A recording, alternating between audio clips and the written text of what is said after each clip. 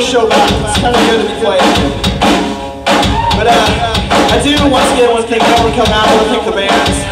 Uh, it's gonna be a good show tonight. So anyway, this song is called Sleepless.